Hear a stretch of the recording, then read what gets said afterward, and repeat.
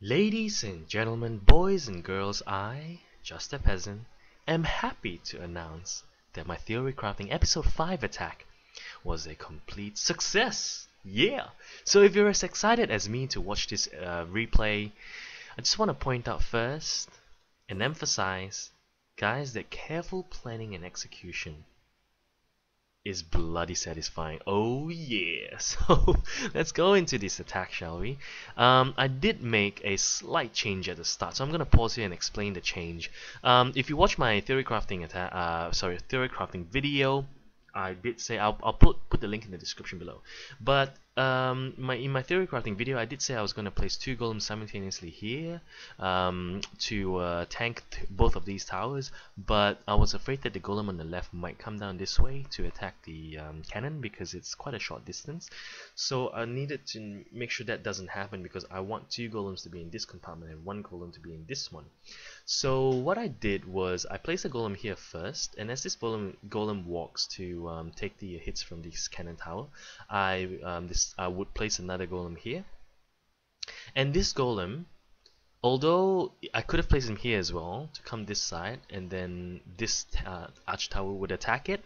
Um, but if that happened, then I needed to. If if I placed my wall breakers here, I was afraid that this cannon would attack that wall breaker so um, so because I wanted the uh, because I wanted to have my wizards everything here I wanted my my golems to be you know one over here one over here one over here. So um, to spread out.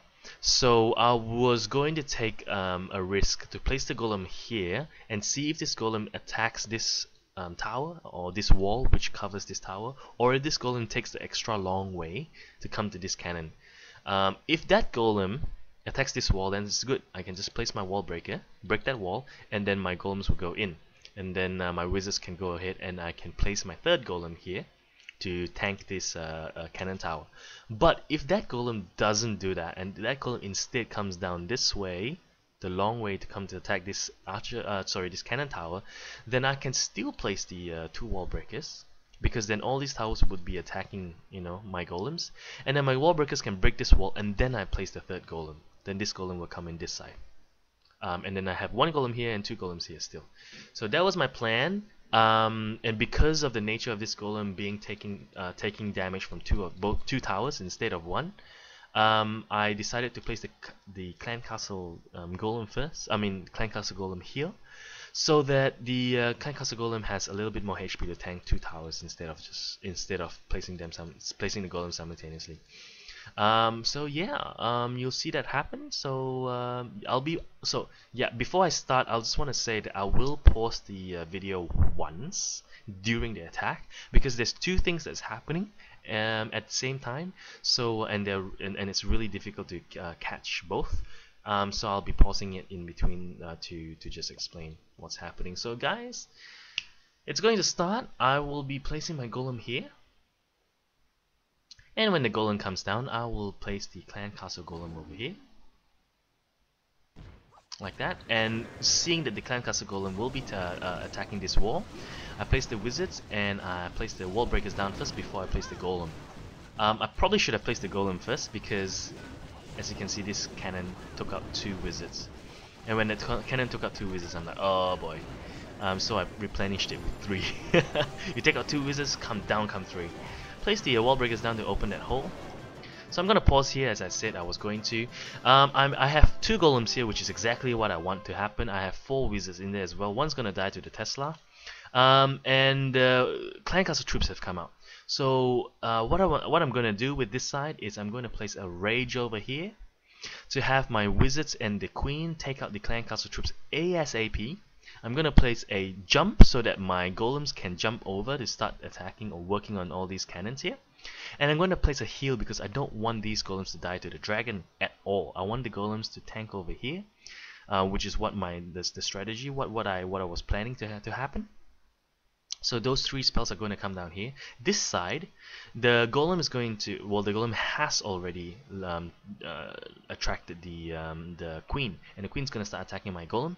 And then you'll see my king and my wizards. Actually, my wizards are going to do this instead of my king. They're going to come down here and take the uh, queen out in just about two or three hits. Because the queen is very very weak towards a wizard. Wizard does so much damage to a queen, and my king doesn't even have ch the chance to attack the queen. Um, so that's what's going to happen in here. My golem is just going to start, as you can see, starts um, you know tanking every single uh, tower in here, including these um, archer tower as well. So that golem is you know that golem is just so well tanky. So you can see the queen goes down very quickly. All the uh, uh, the clan castle troop goes down as well. So at this point in state uh, uh, uh, of time, I the golems have coming to where I wanted them to go, so it's time to place my hogs. So I place my hogs surgically, I place the giant over here, I'll place another giant over here as well as you can see, and I'll surgically place three hogs in each of these um, towers outside. And um, because I've surgically placed them, it was so well done that my hogs are so have so much HP and the attack is already finished at this time that I don't even need to place this heal because the last surviving tower which is this X-Bow is attacking my golem. So as you can see that heal was not even necessary and this has turned out to be a bloody successful and smooth attack. Guys, and we're just gonna let it run.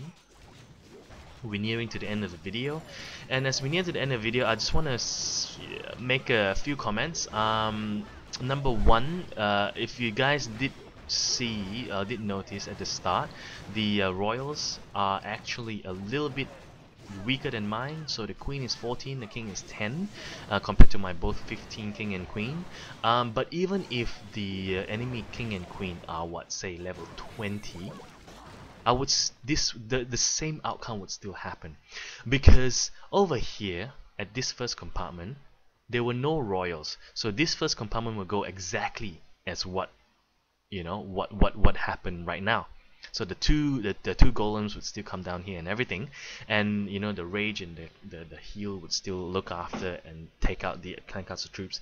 And then over here, even if the queen is level 20, the queen is going to go down in three or four hits from my wizards anyway. So that queen is not really gonna have like any attack. And the king the king actually um, came out this way and he he went down to my king uh, when I used this ability. So my king actually got uh, um, the, the, the, the, the, my king actually attacked his king and with the ability took out his king. So even if his king was level 20, it's the, the outcome is still going to be exactly the same.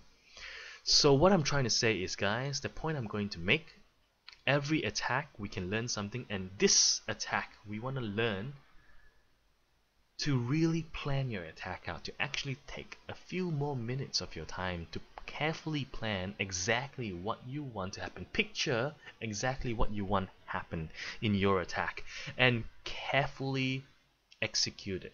Carefully plan it and carefully execute it. So how do we carefully execute it? Your golems. Look after your golems guys. Your golems are so crucial in this attack, in any attack. Because you don't want your golems to go you know into the base without having any support. Um, you want you because the golems are so tanky, but they do so little damage. They're actually very high in usefulness, but very easy to screw up as well when you don't follow them up with enough wizards, or if you don't give them chance to have your wizards, you know, to come and, and, and keep them alive. So guys, how do we keep our golems alive? How do we look after our golems? By making sure only one tower attacks your golem at the start. At the very start, if you can, place your golem strategically so that only one tower is attacking them, or at least only one single target tower is attacking those golems. And then plan your attack well so that you know if you want your golems to go to a specific place you know if they need a heal you might need to heal them. You know you have to place the jump for them. You need to place the jump correctly for them. Place the rage for the wizards behind them so that they, they look after your golems. So guys look after your golems um, during your attacks. That's you know that's one thing we can take out of this. And at this end of, and, and and now that we've come to the end of the video, um, yeah, I I hope you guys enjoyed it. Uh, if you guys did, do click the like button. If you guys want to watch more theory crafting and hopefully more 3-star theory crafting attacks, do subscribe. I'll be posting a lot more of these for you guys. And yeah, so guys, until next time, until the next video, don't stop gaming, keep on clashing, and I'll see you guys in the next video. Take care.